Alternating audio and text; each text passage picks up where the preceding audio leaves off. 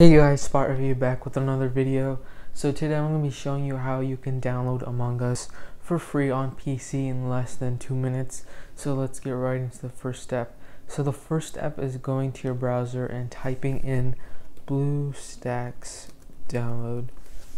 And then once you do that, you're just going to press go to download and you should download BlueStacks right here. Now I'm gonna, not going to download it since I already have it, but uh, once you press download BlueStacks, it's just gonna ask you to download and set up everything. So after you do that, you want to launch um, BlueStacks. So all you're gonna do is type in BlueStacks and open the application. So BlueStacks is basically like an Android player that is running Android games on your PC, and you can actually download stuff from the Google Play Store and bunch of other games that are compatible with Android and um, your PC. So it's a pretty simple process, not too complicated. So once BlueStacks is downloaded, you're gonna want to go over to the Google Play Store right here, and once you do that, you're gonna have to log in. But as you can see, you have a bunch of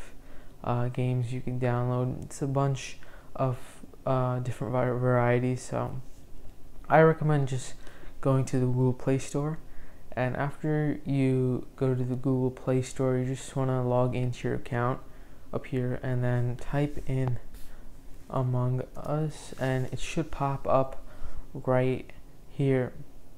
So once you have it downloaded you're just gonna press open and it should open up.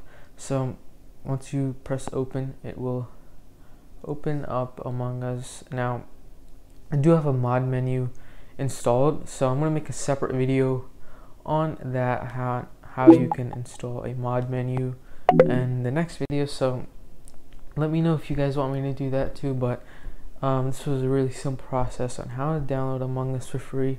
And I just uploaded another video about how to download BeamNG Drive for free. Now that game's around $30 on Steam and you can get it for free so make sure to watch that video. And yeah so as you can see the game is loading right now and since I have the modded version it's gonna take a bit longer to load in but the game definitely works. But as you can see in this mod menu you have everything you need. So I'm gonna be making a video on that. But as you guys can see everything is working.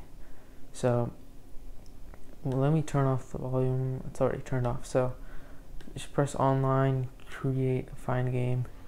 And let's just go into a random game right now and see how well game works. So this game is working perfectly fine. As you can see I'm moving around pretty fast. Nothing is wrong with it. But as you can see everything's working. So this is legit not a scam or anything like that. So everything is working correctly. So you don't have to fear that this is not going to work. But here is the game. So yeah guys that's it for today. I hope you enjoyed this video.